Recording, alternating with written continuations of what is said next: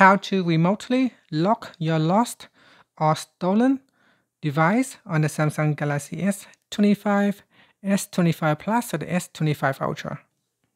First tap on the home button to return back to the home screen. Now, before we do that, make sure on your device you already have turned on the remote lock. To do so, swipe down at the top to open up quick settings, then tap on the settings icon.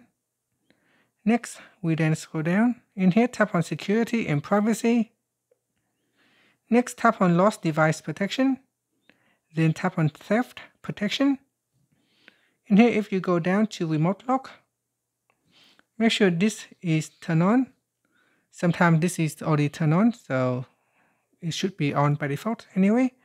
So here, once it is turned on, you can go to android.com forward slash lock. So here, let's say someone had your device. So on your phone, so you can go to a computer or another mobile device and open up your internet uh, page. From here, you can go to android.com forward slash lock.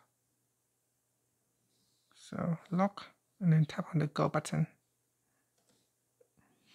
Okay, in here you need to put in the phone number.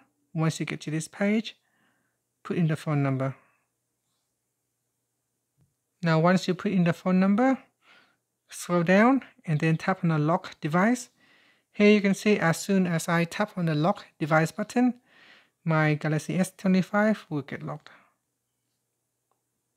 And here it is now locked. And that is how you can remote lock your lost or uh, stolen device for the Samsung Galaxy S25, S25 Plus, or the S25 Ultra. If you find this video helpful, please like and subscribe to my channel for more videos. Thank you for watching.